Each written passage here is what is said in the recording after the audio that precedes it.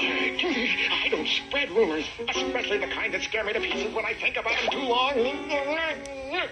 You better tell me what it is so I won't accidentally bring it up in conversation. Oh, yeah, you might be right. I hate surprises. Okay, okay, okay. It seems that old skunky skunk might have killed somebody.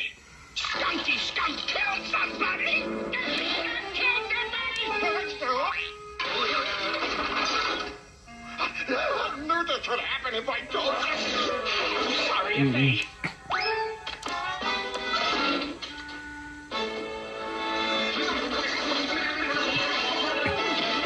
I love to play.